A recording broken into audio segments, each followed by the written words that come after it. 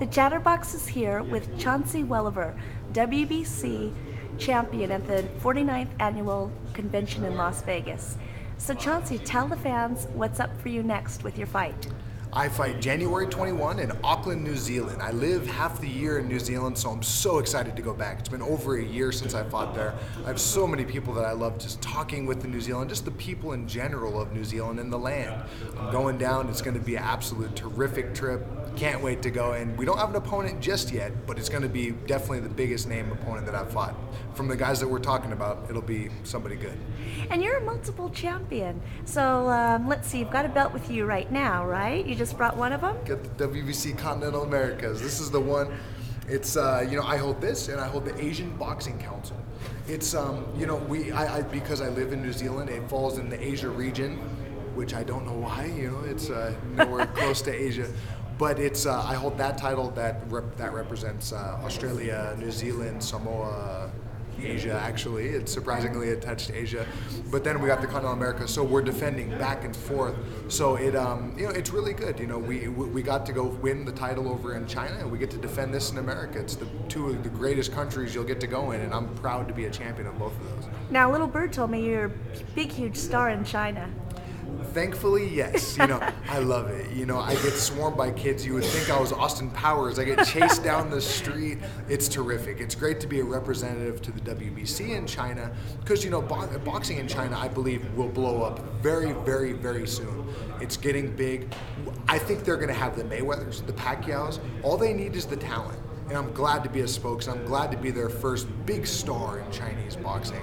And you know, it's uh, I look forward to defending the WBC Asian Boxing Council. I look forward to winning the WBC World Title there. You've got 51 victories, correct? Yes, I do. Yes, I do. Do I look like I have 51 victories? Let's see. Oh, you got a beard. Uh, you're, you're fine. well hidden then. now, also, you have something special going on with WBC Cares. Yes, WBC Cares is, is an organization that I care very much about. I come from a very small, poor neighborhood. So, you know, what they do for the children, I think, is terrific. They help the needy children. They help kids that are sick. They help every kind of child. And I love that. I love that. Jill Diamond has a great organization. Jose Sulaiman has a great organization.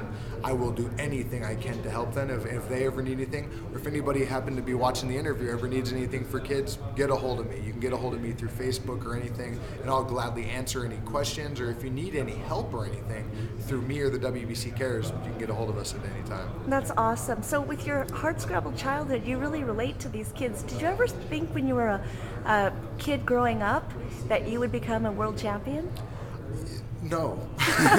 you know, re- I didn't even think that before until really it didn't click. You know, even the, through the first 50 fights of mine, I thought, yeah, just a fighter. You know, I don't. You know, I just want to have fun and get the crowd cheering. That's all I want. I love the crowd cheering for me, and that felt so good. I think that's why I like China.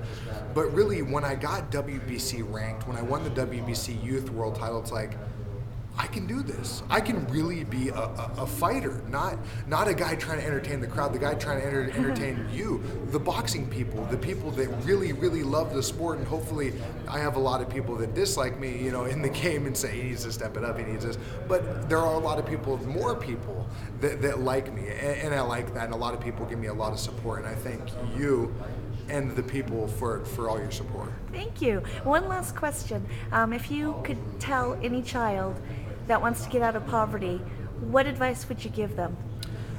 Have a goal. That's the biggest thing. You got to have a goal and you have to believe it. I heard a saying and I thought it sounded hokey, but it's so true. You believe it, you achieve it. You know, it's it's definitely a great motto in life. You have to you you you can't think I'm I'm you know I'm stuck in this world because you'll be stuck there the rest of your life. Even if you're here, you have to think I'm going here and you'll you'll eventually get there.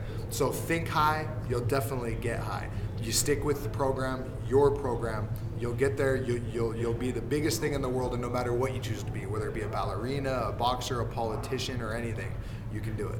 Are you going to be a motivational speaker after you hang up the gloves? Not very good with talking, so so maybe maybe I'll be a, a side somebody's sidekick when they're a motivational speaker. All right, let's get one last look at the belt one last look. This is hopefully not my last look, but uh, This is one of my pride and joys. I have a couple WBC titles, and I'm very, very proud to be WBC Continental America's champion.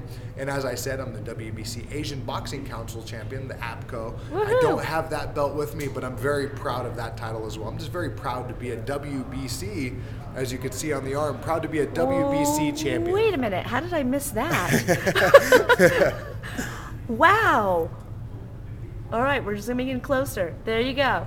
Thank you very much, Chauncy. Thank you very much. And if you guys ever need anything, as I said, you can hit me up on Facebook. If you ever need anything, or if the people ever need anything, any questions, if you ever want to chat, ask me what it's like going into the ring. Ask me what it was like going into my last fight. Ask me what it's like to be a fighter.